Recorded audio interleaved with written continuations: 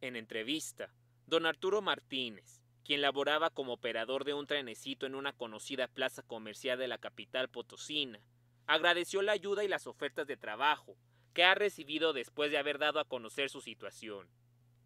Cabe recordar que este conocido personaje de San Luis Potosí perdió su trabajo a causa de la pandemia por COVID-19 y solo recibió 200 pesos. Esto, a pesar de contar con casi 11 años de trabajo, con el que alegraba a niñas, niños y adultos por igual. La respuesta por parte de la población fue variada. Hay quienes se ofrecieron a dar una despensa, otros que apoyaron con un poco de dinero, incluso hubo personas que le ofrecieron trabajo.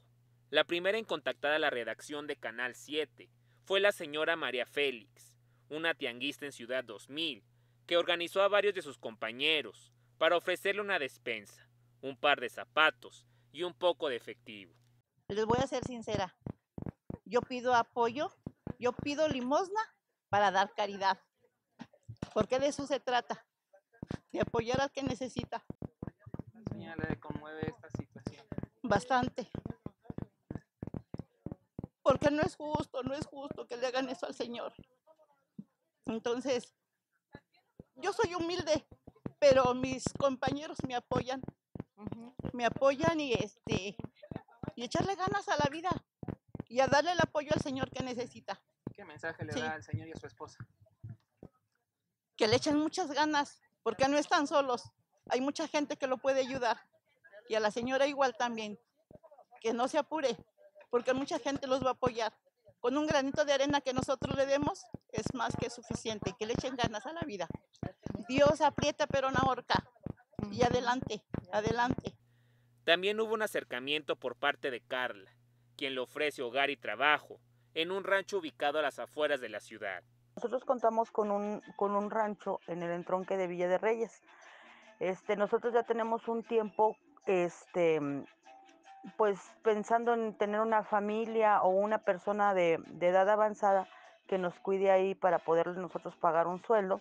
La próxima semana, ya pasando este, la contingencia, la próxima semana vamos a, meter un ganado, entonces lo que queremos es nada más que se les sirva en el, en el tiempo que se les tiene que servir a los animales. Nosotros proporcionamos la comida y un sueldo, ¿verdad? Si quieren ellos vivir y no tienen dónde, les proporcionamos este donde vivan, sin cobrarles, claro.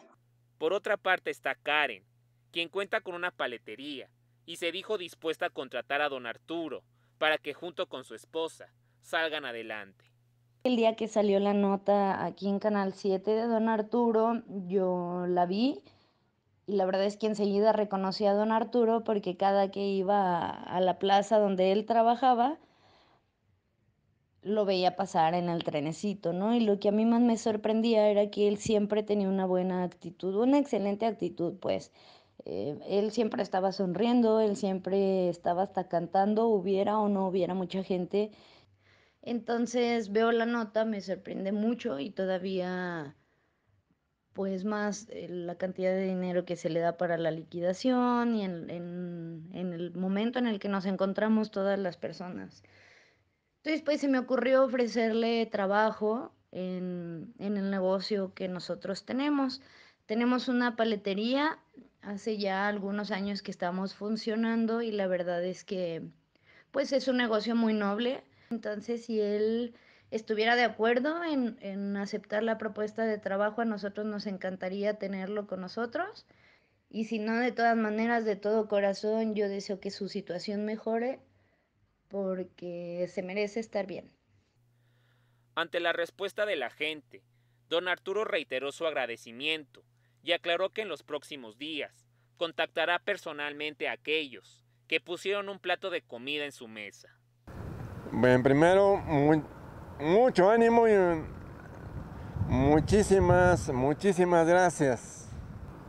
Muchísimas gracias. Este, eh, vuelvo a repetir, yo no, no me esperaba ningún apoyo así.